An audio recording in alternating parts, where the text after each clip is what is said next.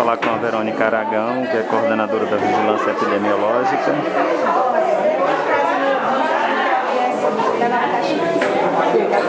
exatamente 2.466 Essa equivale a 34% para é, profissionais de saúde, mais de 7 mil profissionais cadastrados na rede de saúde.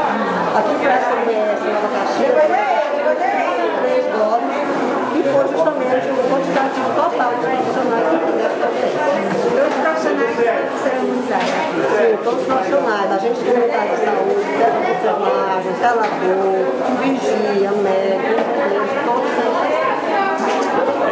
Tudo bem.